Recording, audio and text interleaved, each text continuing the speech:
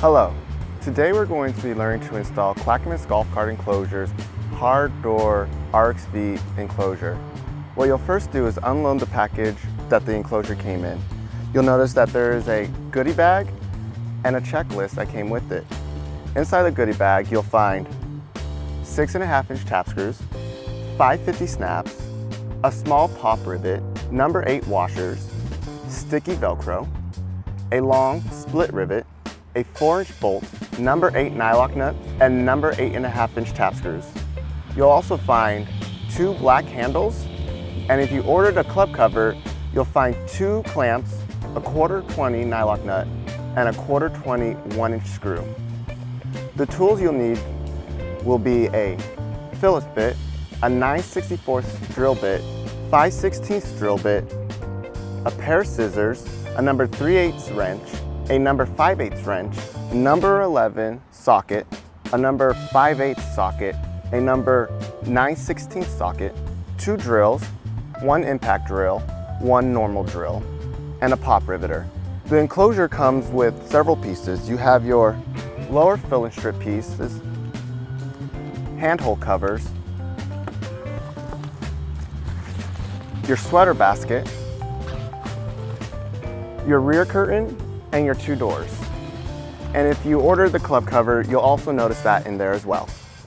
You'll need two pieces of awning rail, one short and one long included in your package. Most importantly, you'll notice that there are six bracket-like pieces of metal. Two will be these angular ones, two L-shaped pieces, two flat pieces, and they shall come in a package labeled left and right. One U-shaped bar, and finally, one tape measure.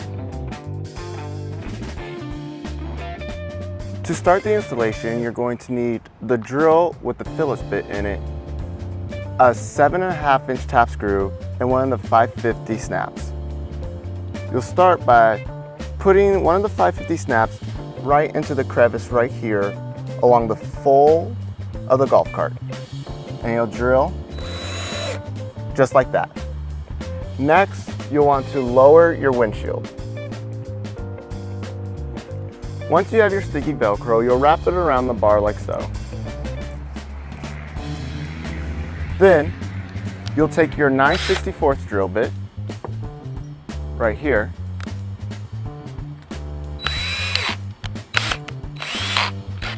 and drill to the inside, right in the middle of the bar. You'll start with your pop riveter gun, two small pop rivets, and two of the washers. You'll insert the pop rivet into the rivet gun and the washer onto the pop riveter. Then you'll simply put it into the hole we drilled and squeeze until you hear a click and then pull away. And you'll do the same thing on the other side. Now we take our tape measure and pull it out to about nine inches. You'll take the small 9 64 drill bit out of the drill and put in the larger 5 16 drill bit. Make sure it is tight. Next, you'll come and put the side of the tape measure up against the metal bar and measure five and a half inches and drill into the very first groove.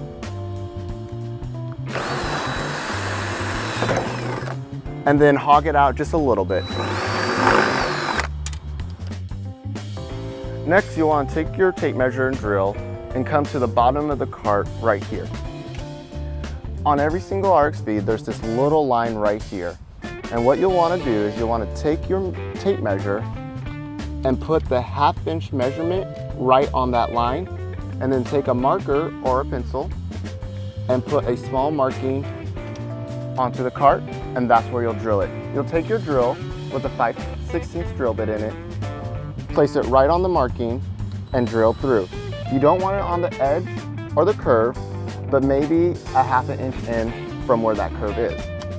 And drill all the way through and hog it out a little bit. Next, you'll want to take the 5 16 drill bit out and put back in your Phillips bit.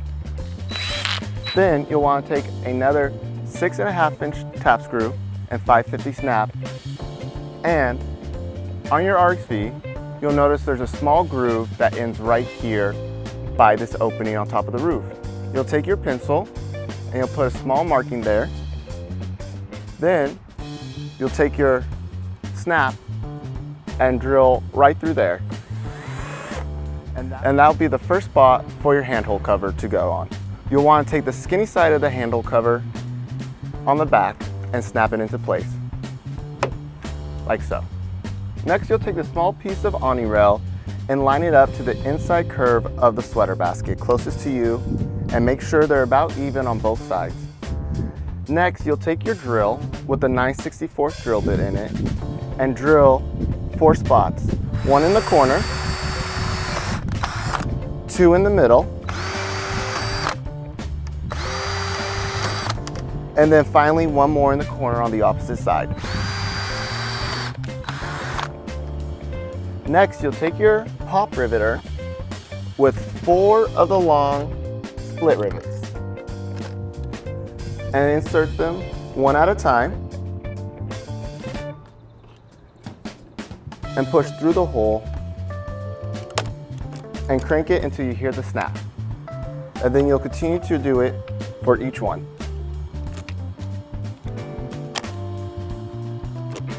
Next, you'll take your drill bit on the back of the cart with the sweater basket, you'll see a bolt in the background.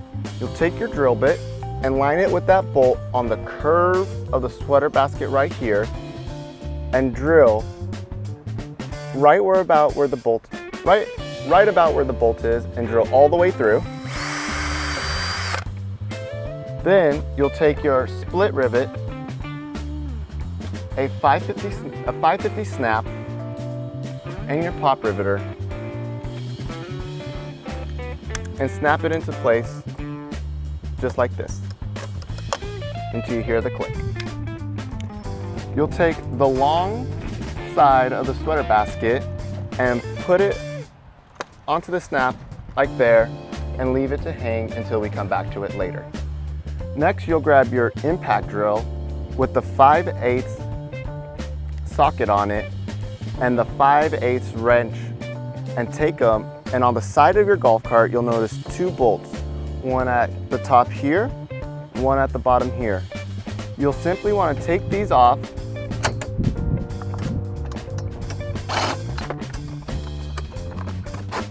Like so and pull them out.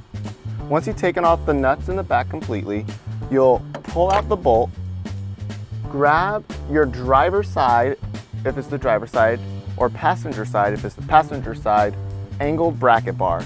You'll take one of the four inch, one of the four inch bolts, push it through the bar, lift here and slide through so that the bolt goes all the way through to the other side. Then you'll take the other one and do the same thing with the bottom piece.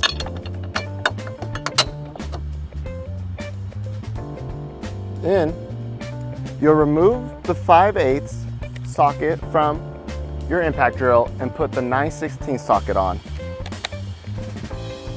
Grab the two bolts, the two nuts, grab the two nuts that you loosened from earlier, and now move them and put them back onto these bolts and tighten them down. The same way you took them off is the same way you'll put them back on, just using the 9 16 socket instead of the 5 8 one. And tighten all the way down securely until this can't move. So next you'll need four of your eight and a half inch machine screws and you'll slide them through the back of the angle shaped bar like so. Next, you'll take your L-shaped bracket and simply slide the eight and a half inch machine screws onto it making sure that the inside of the bar is on the inside of the bracket. Next, you'll need two of your number eight nylock nuts and you'll screw them on to each of the machine screws. Then take your Phillips bit and your drill and your 3 8 wrench and simply tighten them up all the way. Making sure that it's nice and strong. Then, making sure that the two holes in the L-shaped bracket are at the top, you'll slide behind the curved smaller piece and do the same thing with the machine screws, one into each hole. And same thing with the nylock nuts, pushing through and tightening them down until completely tightened.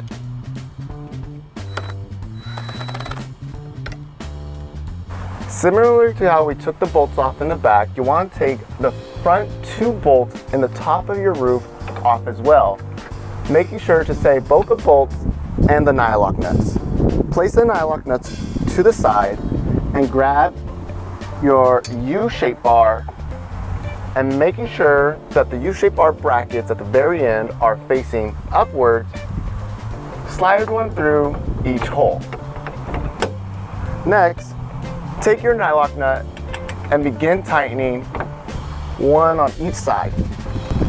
You may have to pull one through if the U-shaped bar pushes it up too far.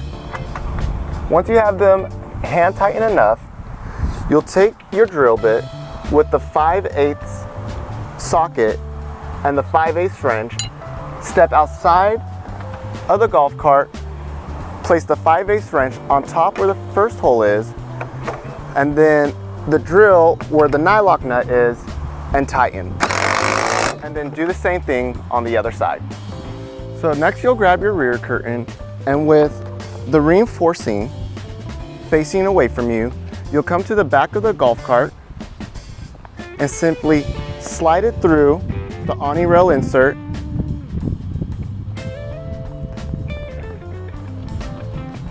until it's completely threaded and even. You'll then want to push the rear curtain around the bars to the inside of the golf cart. And then you'll want to move to the inside of the golf cart. Next, after you've threaded the rear curtain through, you'll simply want to take the rear curtain, pull it up over your U-shaped bar, and Velcro it to the other side. And you'll want to do the same with these pieces here, pushing them back behind the seat, pulling up and over, and Velcroing. Repeat on the other side. Once you have the rear curtain on, we'll move to the back and finish off the sweater basket. So using the 964th drill and, and making sure the sweater basket is even along the bottom, you'll come and you'll take a drill, your 964th drill, and drill right here, and using the split rivet and a 550 and your pop riveter, you'll rivet this snap in here and snap it into place. Next, you'll take a six and a half inch screw and the Phillips bit and another 550 snap and you'll snap it along the bottom and the back of the cart like so. Take your six and a half inch tap screw and 550 and keeping it even along the bottom like so. You'll drill into the plastic and snap it. Next, we'll move to the side and do the same into the side of the cart with these two snaps here. On the side of the on the side of the golf cart enclosure of the sweater basket, you'll pull it tight to about where it goes in the bar here, and then taking your six and a half inch tap screw with the 550, you'll drill through and snap. And then do the same for the bottom where it goes.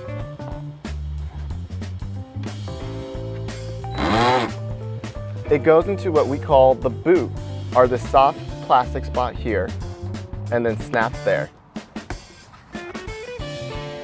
Coming back to the handle cover, we'll be using three 6.5 inch tap screws and three 550 snaps. Making sure that we're even with this snap here, we're going to slide down and mark where this one goes by lifting the snap and putting it right there and snapping it into place.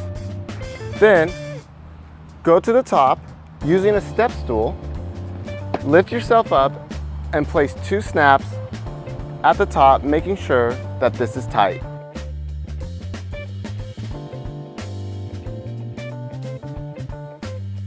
Taking our lower filler strip and going to the first snap we put in and a snap on the opposite side, you thread the filler strip underneath and snap it into place.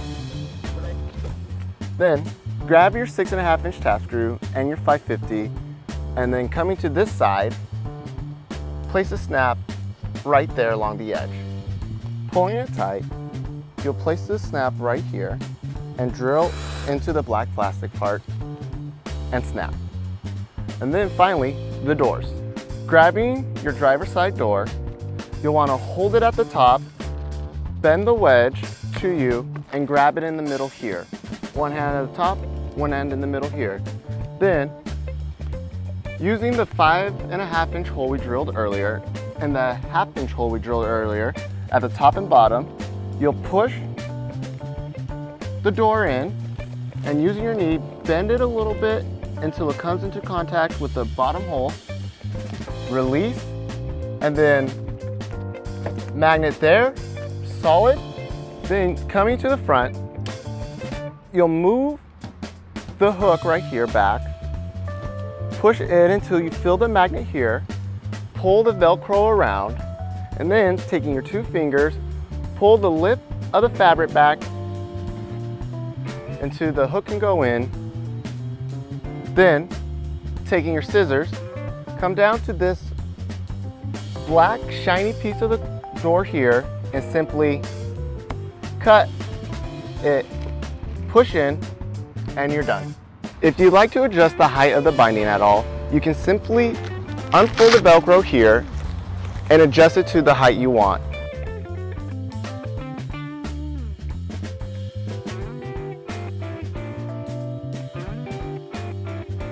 And lastly, for the windows, you can zipper them down on both sides and pulling down the Velcro, allow free movement through here.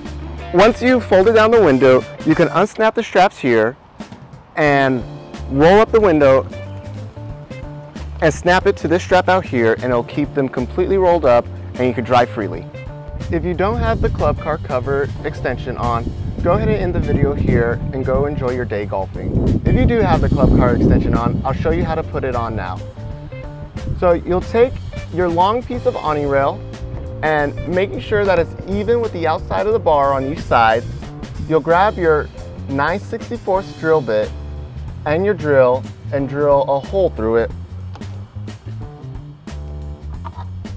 like so. Taking the 9 64 drill bit, you'll drill a hole into the indentation on the awning rail all the way through and into the plastic. You'll take your pop riveter and your split rivets without a 550 snap and pop rivet them in.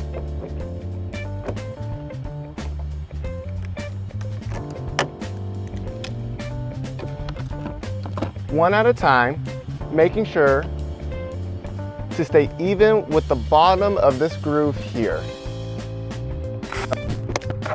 Make sure to bend this even along the groove and drill the final two holes here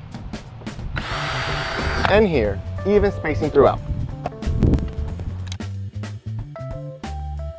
Grab the club cover and slide it through the awning rail, keeping your hand here and pulling all the way through until even. Making sure our clamps are in the middle of the black bracket right here, you'll drill with the 964 drill bit first, and then again, after switching it out, with the 5 16 drill bit.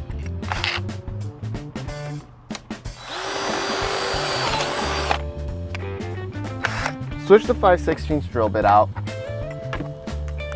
add your Phillips bit, your your quarter by 21 inch bolt and your quarter by 20 nylock nut, thread it through the, the openings in the clamp into the hole you drilled, and then tighten underneath. Take your number 11 socket, place it onto the bolt underneath, and tighten all the way until it's solid, and repeat along the other side. Once you have both sides of the clamps firmly tightened down, you'll come to the side, grab the hanging strap, and fold it over like so. Taking a six and a half inch tap screw and a 550 snap, you'll drill through the strap and pull up and into the plastic part and tighten. Once you've tightened down both sides, you're completely done with the enclosure. Thank you for considering Clackamas Golf Cart Covers. This concludes today's installation.